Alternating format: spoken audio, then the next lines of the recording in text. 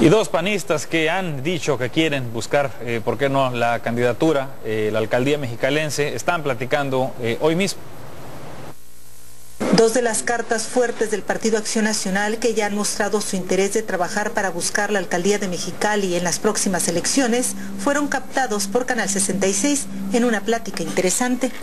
No, bueno, yo creo que este aquí nada más ahorita nos estamos saludando, ¿no?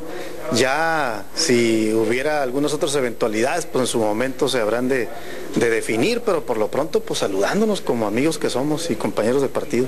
Quienes llegamos a Acción Nacional desde antes de ser gobierno, sabemos y valoramos lo que hay que cuidar al partido.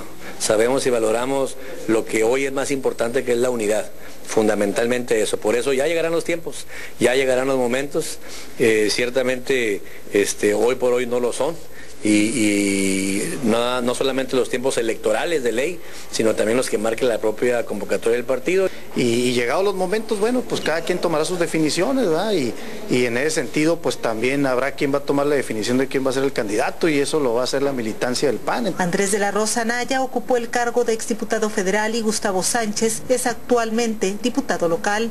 Ambos son considerados como piezas claves para el blanquiazul. En contacto informan Ranulfo Cabrera y Ana Julia Contreras, Canal de las Noticias.